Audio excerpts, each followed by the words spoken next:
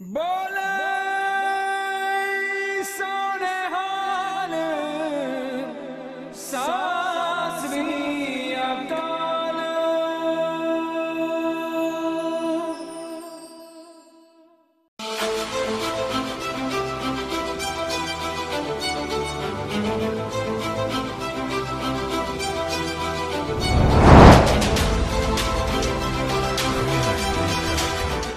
ਵਾਹਿਗੁਰੂ ਜੀ ਕਾ ਖਾਲਸਾ, ਵਾਹਿਗੁਰੂ ਜੀ ਕੀ ਫਤਿਹ। ਮੈਂ ਨੈਨਾ ਕੌਰ, ਤੁਹਾਡੀ ਆਪਣੀ ਦੋਸਤ। ਹਾਜ਼ਰ ਹਾਂ ਡੇਲੀ ਟਾਕਸ ਦੇ ਵਿੱਚ ਇੱਕ ਨਵਾਂ ਪ੍ਰੋਗਰਾਮ ਲੈ ਕੇ। ਅੱਜ ਦਾ ਸਾਡਾ ਟੌਪਿਕ ਹੈ ਬੇਸਿਕ ਟੌਪਿਕ ਬਿਲਕੁਲ ਜਨਰਲ ਟੌਪਿਕ ਜੋ ਹਰ ਘਰ ਦੀ ਕਹਾਣੀ ਹੈ। ਬੱਚੇ ਜੋ ਹਰ ਘਰ ਵਿੱਚ ਆਉਂਦੇ ਨੇ, ਤੇ ਅੱਜ ਅਸੀਂ ਟੌਪਿਕ ਲਵਾਂਗੇ ਬੱਚਿਆਂ ਦੀ ਸੇਫਟੀ ਦੇ ਉੱਤੇ।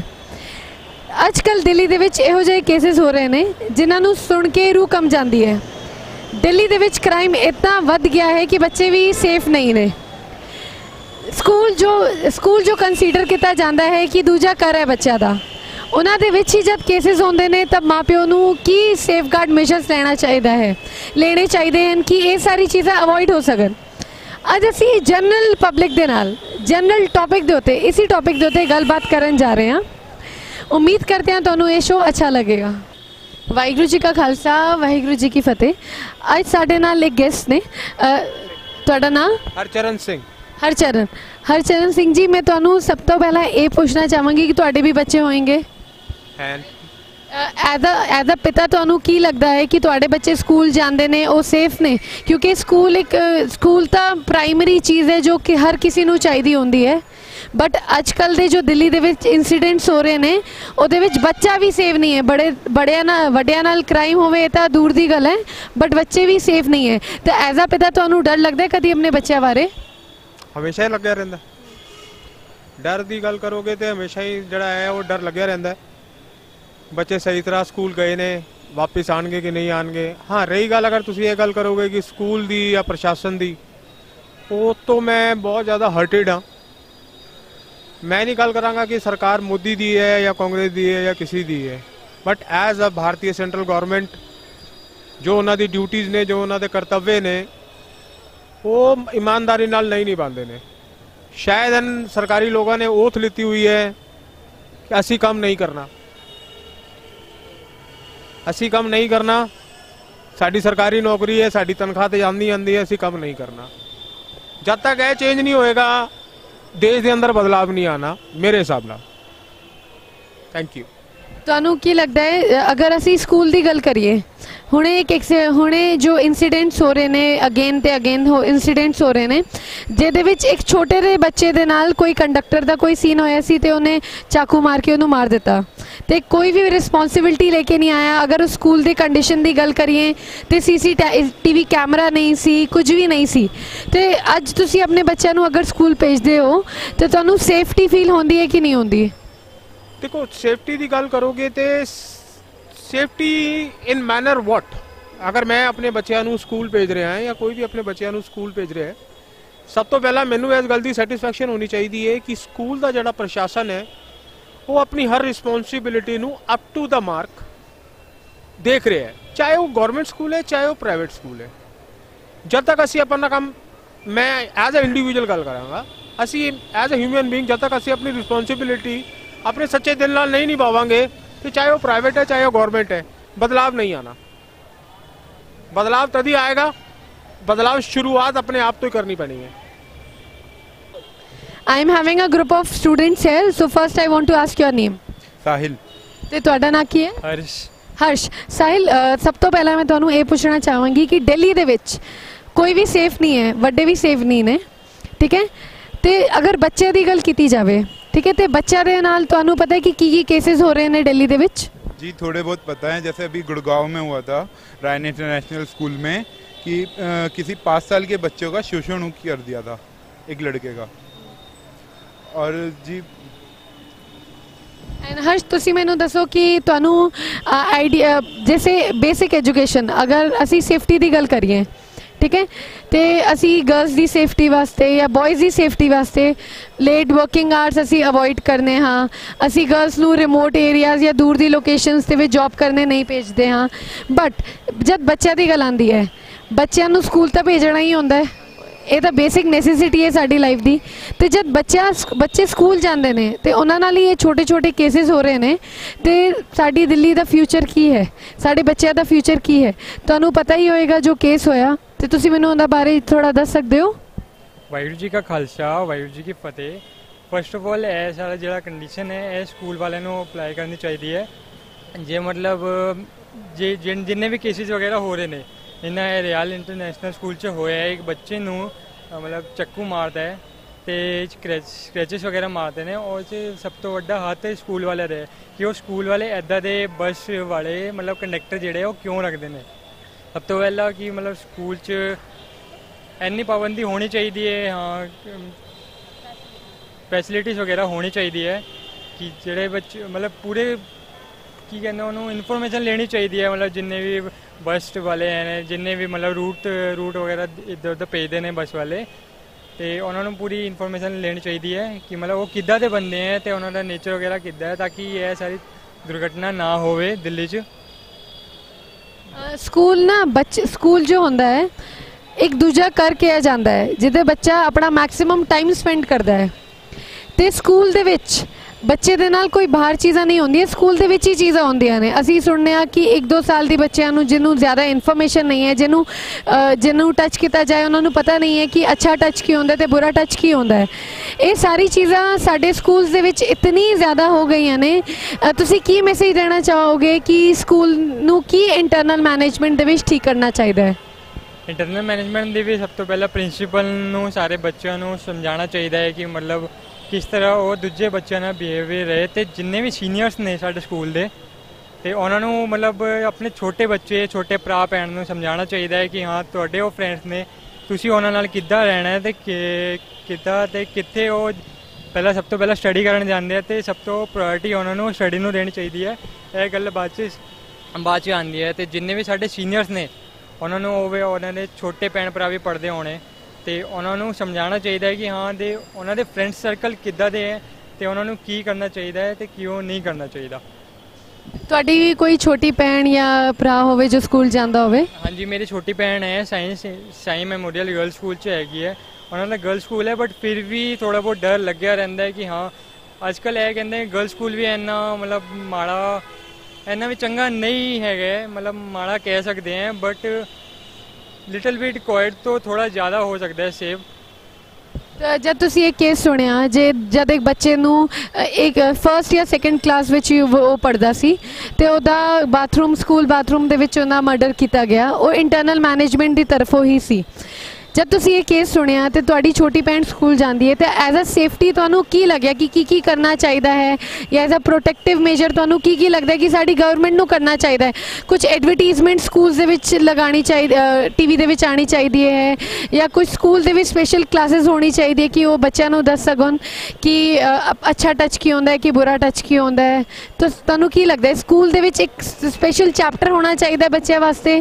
ਸਪੈਸ਼ਲ ਕਲਾਸਿਸ ਅਰੇਂਜ ਹੋਣੀ ਚਾਹੀਦੀ ਹੈ? ਆਫ ਕੋਰਸ ਹੋਣੀ ਚਾਹੀਦੀ ਹੈ ਵਰਕਸ਼ਾਪ ਜਿੱਦਾਂ ਉਹ ਕਰਦੇ ਨੇ ਉਹ ਮਤਲਬ ਦੂਜੇ ਟਾਈਪ ਦੀ ਵਰਕਸ਼ਾਪ ਕਰਦੇ ਨੇ ਆਪਣੇ ਸਟੱਡੀ ਤੋਂ ਲੈ ਕੇ ਐਜੂਕੇਸ਼ਨ ਤੋਂ ਲੈ ਕੇ ਵਰਕਸ਼ਾਪ ਕਰਦੇ ਨੇ ਸਕੂਲ ਵਾਲੇ ਬਟ ਉਹਨਾਂ ਨੂੰ ਇਹ ਹੋਣਾ ਚਾਹੀਦਾ ਹੈ ਕਿ ਮਤਲਬ ਇਸ ਤਰੀਕੇ ਨਾਲ ਵੀ ਵਰਕਸ਼ਾਪ ਕੀਤੀ ਜਾਵੇ ਜਿਸ ਨਾਲ ਬੱਚਿਆਂ ਨੂੰ ਸਮਝ ਆਵੇ ਕਿ ਉਹ ਕਿ- ਕਿੱਥੇ ਨੇ ਤੇ ਉਹਨਾਂ ਦਾ ਬੈਕਗ੍ਰਾਉਂਡ ਕਿੱਦਾਂ ਦਾ ਹੈਗਾ ਹੈ ਤੇ ਸਕੂਲ 'ਚ ਉਹ ਆ ਰਹੇ ਨੇ ਕਿ ਉਹ ਸਟੱਡੀ ਕਰਨ ਆ ਰਹੇ ਨੇ ਜਾਂ ਮਤਲਬ ਐਦਾਂ ਹੀ ਮਤਲਬ ਮੇਨ ਪ੍ਰਾਇੋਰਟੀ ਉਹਨਾਂ ਨੂੰ ਸਟੱਡੀ ਨੂੰ ਦੇਣੀ ਚਾਹੀਦੀ ਹੈ ਮੇਰਾ ਮਤਲਬ ਇਹ ਹੈ ਸਾਡੇ ਨਾਲ ਇੱਕ ਹੋਰ ਸਿਟੀਜ਼ਨ ਨੇ ਤੁਹਾਡਾ ਨਾਂ ਕੀ ਹੈ ਸਰ ਕੁਲਬੀਰ ਸਿੰਘ ਮਾੜੀਆ।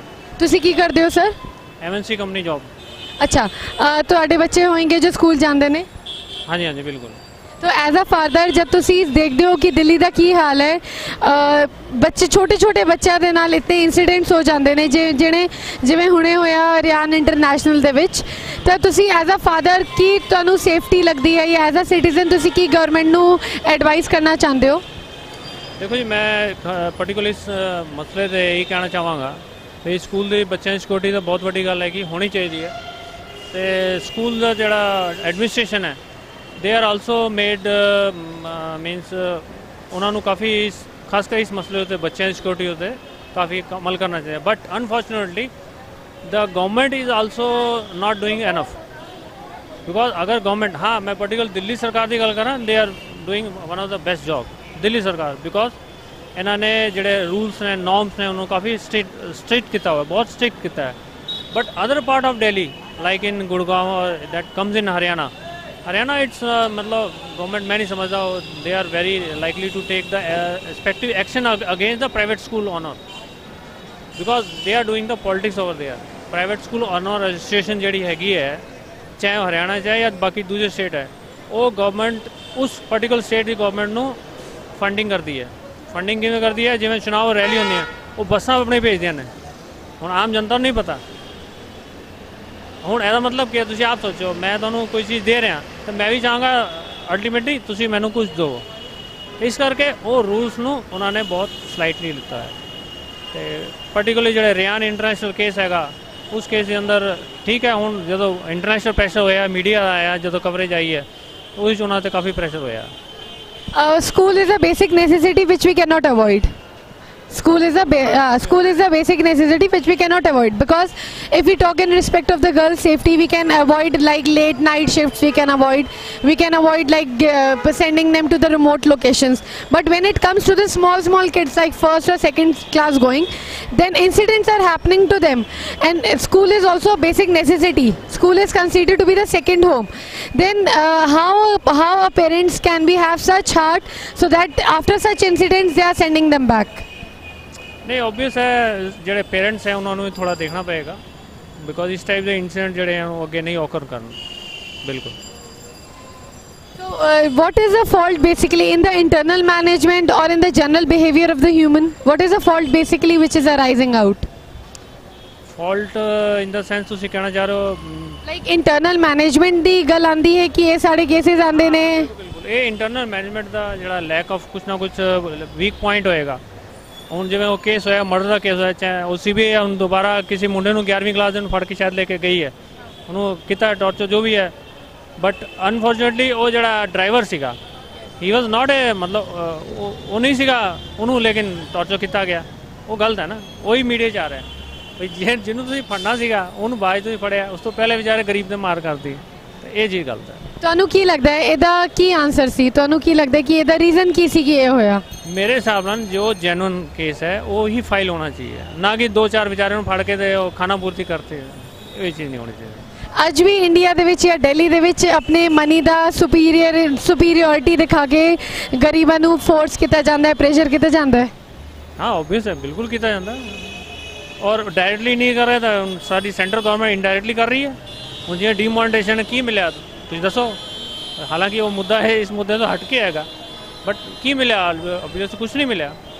ਅੱਜ ਇਕਨੋਮੀ ਤੁਸੀਂ ਦੇਖ ਲਓ ਨਾ ਕੀ ਹਾਲ ਹੋਇਆ। ਮਾਰਕੀਟ ਦਾ ਅਸੀਂ ਲੈ ਕੇ ਫਿਰ ਰਹੇ ਹਾਂ ਰਜਿਸਟਰ ਫਿਰ ਰਹੇ ਹਾਂ। ਜੋ ਲਾਸਟ ਈਅਰ ਅਸੀਂ ਟਾਰਗੇਟ ਅਚੀਵ ਕੀਤੇ ਉਸ ਤੋਂ ਜ਼ਿਆਦਾ ਅਸੀਂ ਗਰੋਥ ਦੇ ਰਹੇ ਹਾਂ ਉਹਦੇ ਬਾਵਜੂਦ ਸਾਨੂੰ ਨਹੀਂ ਮਿਲ ਰਿਹਾ ਕੁਝ ਤੇ ਇਹ ਤਾਂ ਪਾਰਟਿਕੂਲਰ ਇੱਕ ਕੰਪਨੀ ਦੀ ਮੈਂ ਗੱਲ ਕਰ ਰਿਹਾ ਐਮਐਨਸੀ ਕੰਪਨੀ 500 ਕਰੋੜ ਦੀ ਟਰਨਓਵਰ ਹੈ ਸਾਡੀ ਕੰਪਨੀ ਦਾ। ਬਟ ਅਸੀਂ ਵੀ ਹਿੱਲੇ ਪਏ ਹਾਂ। ਤੇ 5000 ਕਰੋੜ ਵਾਲੀ ਵੀ ਉਹ ਵੀ ਹਿੱਲੀ ਹੋਏਗੀ। ਸਾਰੀ ਤੇ ਫਿਰ ਇਹ ਕੀ ਮਿਲਿਆ ਕੀ ਹੈ ਸਾਨੂੰ? ਕੁਝ ਨਹੀਂ ਮਿਲਿਆ। ਇਹ ਤਾਂ ਗਵਰਨਮੈਂਟ ਦਾ ਫੇਲਿਅਰ ਹੈ। ਟੋਟਲੀ ਫੇਲਿਅਰ ਹੈ demonetization and after that GST it's a blunder mistake ਅੱਜ ਸ਼ਾਇਦ 10 ਤਰੀਕ ਹੈ, ਅੱਜ ਇਹਨਾਂ ਦੀ ਮੀਟਿੰਗ ਹੈਗੀ ਹੈ। ਹੈਗੀ ਹੈ ਨਾ ਜੀਐਸਟੀ ਕੌਂਸਲ ਦੀ? ਉਹ 28 ਵਾਲੀ 18 ਦੇ ਲਿਆ ਰਹੇ ਨੇ। ਤੇ ਉਹ ਟੈਕਸ ਸਲੈਬ ਹੋ ਗਿਆ 10% ਉਹ ਕੌਣ ਕਰੇਗਾ? Who is responsible that act ਕੋਈ ਨਹੀਂ ਕਰ ਰਿਹਾ। ਫਿਰ this is a totally failure Sudden, all the changes are coming in economy. All the changes are coming in economy. What What do you think?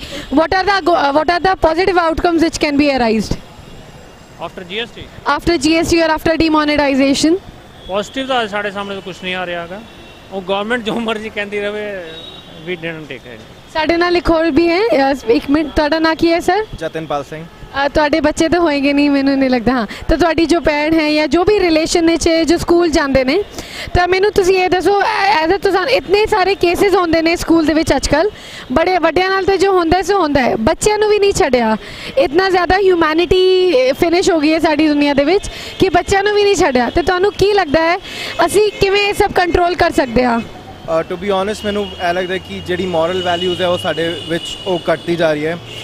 ਮੈਂ ਯੂਥ ਨੂੰ ਸਭ ਤੋਂ ਪਹਿਲਾਂ ਇਹ ਕਹਾਂਗਾ ਕਿ ਜਿਹੜੇ ਅਸੀਂ ਯੂ نو ਭਟਕ ਰਹੇ ਨੇ ਸਭ ਤੋਂ ਪਹਿਲਾਂ ਉੱਥੇ you know we have to go back to the basics first right ਤੇ children's ਨੂੰ ਅਸੀਂ you know as I am not a parent right now but I would suggest all the family members to sit with you know their childrens and talk on certain matters which are unaddressed yes. you know we should tell them ki, what is the right touch what is the wrong touch you know we should tell them if your teacher says something कभी कभार हमें offend भी नहीं होना चाहिए because just I am from you know मैं 90s का हूँ सो आई नो उस टाइम उस वेले टीचर कोटते भी से and which was like parents समझते थे it was right but today parents also needs to relax that if they are sending their children to the school they are sending them for their education and according to teachers they also need to understand that they have to think as a parent that they're you know teaching somebody else's son or a daughter. But basics chalega in sade you know i i'm not focusing on sikhism right now because it'll be very you know mainstream. But again you know we have to sit back and think where are we lacking.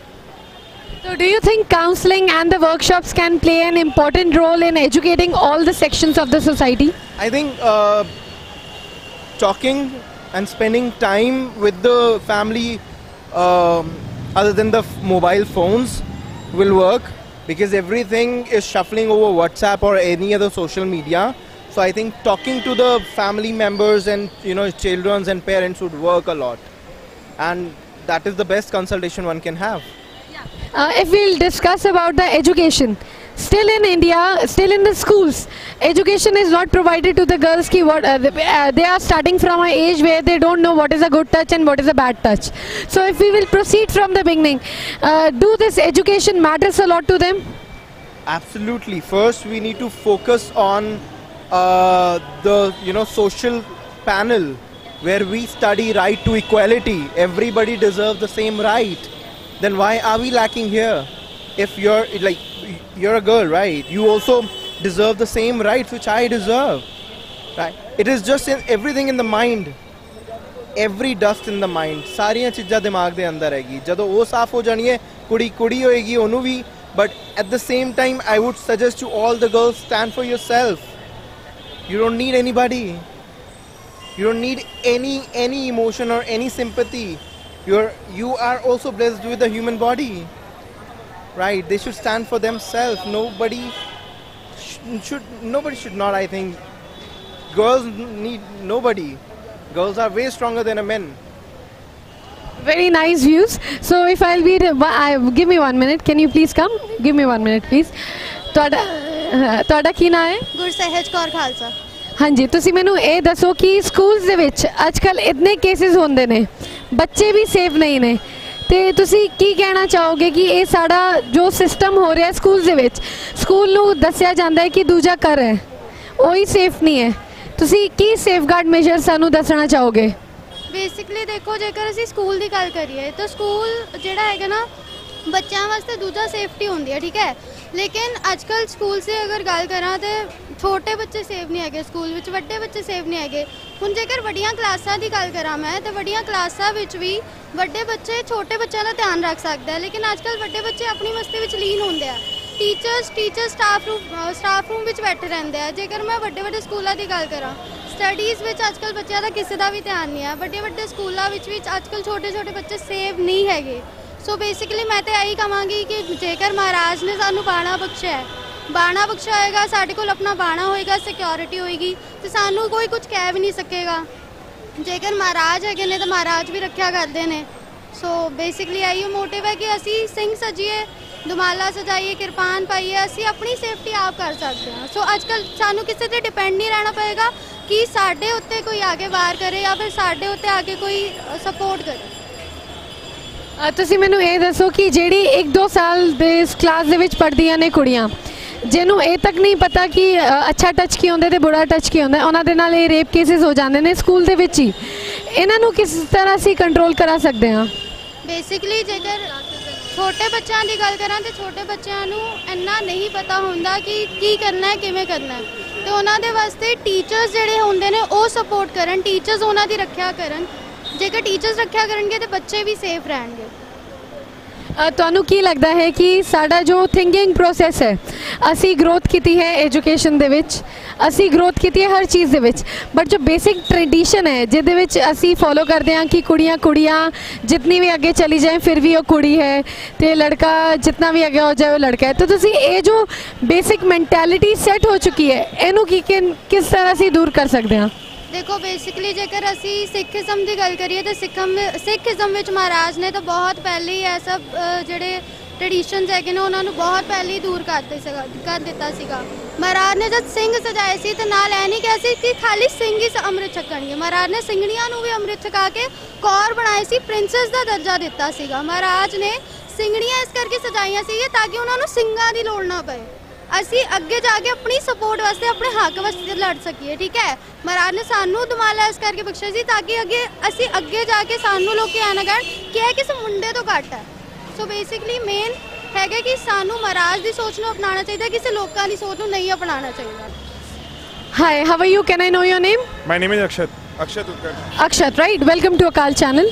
Uh, ਮੈਂ ਤੁਹਾਡਾ ਨਾਮ ਜਾਣ ਸਕਦੀ ਹਾਂ Sudeep Singh Saini Sudeep welcome to Akal channel ਤੁਸੀਂ ਦਿੱਲੀ ਤੋਂ ਹੋ मैं I have uh, completed my study from there. Where is your home time And the DU. I have completed my graduation from Delhi University. where is your hometown Bihar, Muzaffarpur. okay so you are basically belonging from bihar ha so when you uh, if we take as a consolidated india one word i am just taking out on a random basis that is children's safety all the children who are below 12 years of age about their safety so uh, what what is the what are the measures which come into your mind about this I think it's all dep- depend on the bringing of the child. Okay, if the child is uh, the parents teaches their child good things, they will be able to do the things, do the good stuff in life. But if and uh, many thing parenting is very very major thing in I think in that in that. Uh, we have uh, we uh, f- we are talking about the children's safety as well on the other side, there are juveniles as well who commit case, who commit crime, right? So ਇੱਕ ਤਰਫ ਬੱਚੇ ਇਤਨੇ innocent ਹੁੰਦੇ ਨੇ ਕਿ ਉਹਨਾਂ ਦੇ ਨਾਲ ਕੇਸਿਸ ਹੋ ਜਾਂਦੇ ਨੇ ਤੇ ਕਈ ਬੱਚੇ ਇਤਨੇ ਮਿਸਗਾਈਡ ਹੁੰਦੇ ਨੇ ਕਿ ਉਹਨੀ ਕੇਸ ਕਰ ਦਿੰਦੇ ਨੇ ਸੋ ਇਹ ਜੋ ਡਰਾਸਟਿਕ ਚੇਂਜ ਹੈ ਸਾਡਾ ਇਹ ਜੋ ਸੋਸਾਇਟੀ ਦੇ ਦੋ ਪਾਰਟਸ ਨੇ ਤੁਸੀਂ ਉਹਨਾਂ ਬਾਰੇ ਕੀ ਕਹਿਣਾ ਚਾਹੋਗੇ ਮੈਂ ਤੁਹਾਨੂੰ ਪੁੱਛਣਾ ਚਾਹਾਂਗੀ सबसे पहले तो मैं सबको सत श्री अकाल कहना चाहूँगा, ये सब पेरेंट्स और गवर्नमेंट ਨੂੰ बहुत सारे अपने अपने तरीके, नए नए रूल्स लाने चाहिए, बच्चों को सिखाना चाहिए कि अच्छे से, अच्छे अच्छे तो अच्छा बच्चा अपना अच्छे निकालना है, अच्छी स्कूलिंग देनी है, पर अच्छे संस्कार देने हैं, पर अच्छे से गाइडेंस देना है उन्होंने। अच्छे सा गाइडेंस देना है ताकि हमारे बच्चे अच्छी जगह जाके हमारा नाम कर सके, देश का नाम कर सके। हमारे सिख भाइयों ने बहुत नाम किया है पूरे देश में भारत देश से लेके आगे वर्ल्ड में नाम किया है। तो हमारे बच्चों को भी, भी गाइड किया जाए और जो भी जोविनाइल केसेस हो रहे हैं उसके लिए तो बनी हुई है जोविनाइल अदालत। उसको तो होता है हैंडल कर रहा है गवर्नमेंट बहुत सारी पॉलिसीज़ स्कूल में भी इनको देनी चाहिए स्कूल्स में आनी चाहिए और पेरेंट्स को भी मेजर लेने चाहिए बच्चों पर ध्यान रखना चाहिए। So there are, uh, if we are, I, I already said that there are two sections of the society. One section is very innocent. There are children who, jinke saath crime generally it happens, right? And the other section of the children is committing the crimes. So what awareness and what proportion we have to inculcate in our society so that the best outcome can be come from the youth. Again, I'm saying that the, the child, uh, I've heard that one child has done that thing. Have you heard about that Ryan International School? Yeah. What was the whole incident all about, and what will you conclude from that? I will conclude. Uh, the incident was that the, the Pradyuman, the boy, was killed in the bathroom of the school when he arrived there, and the boy who killed him was also a student of the same school, class 11th. And I don't think that the boy who killed him is also a criminal.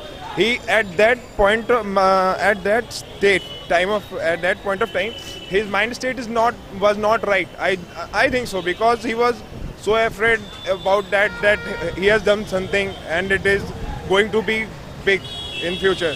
So he in, uh, you know, in that, uh, uh, you can say that, yeah, in that situation, it, it can happen. Or uh, that is the thing uh, where I am saying that parenting is very important.